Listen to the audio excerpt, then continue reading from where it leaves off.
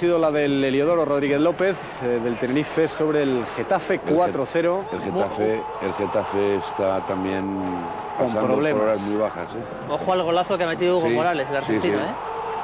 Precioso. Se fue el primero, el segundo de mixta. Está Chico. marcando muchos goles últimamente. Hugo Morales que tuvo una enfermedad gravísima, parecía que iba a tener que dejar el fútbol, incluso peligraba su vida, ¿eh? Y gracias a Dios, ahí está metiendo goles y fenomenal. Y otro que está recuperando el olfato, después de estar Uy. hasta deprimido, fue Madre Pierre. mía, ojo Bueno, con ese tanto. Pero este ¿eh? es el, el gol de parabólica de la jornada. ¿eh? Sí, no ha sido mejor el de Hugo Morales, Sí. ¿eh? Sí. Pero se lo han pasado bien en, en Tenerife.